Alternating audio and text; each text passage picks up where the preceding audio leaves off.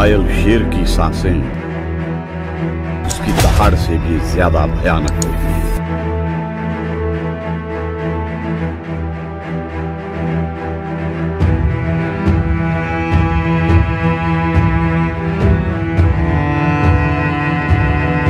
जो नाकामयाबी को गले लगाना नहीं जानता, वो कभी तरक्की नहीं पाता।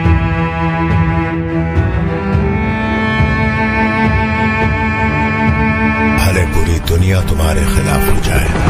हालात मुश्किल हो जाए और चीख चीख कर तुमसे कहे कि तुम बुरी तरह हार चुके हो।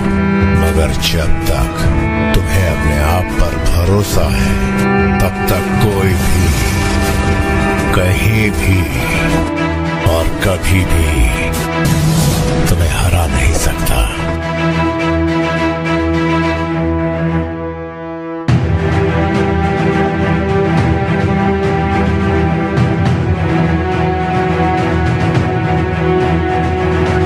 लड़ाई में कौन पहले मारता है, इससे कोई फ़र्क नहीं पड़ता।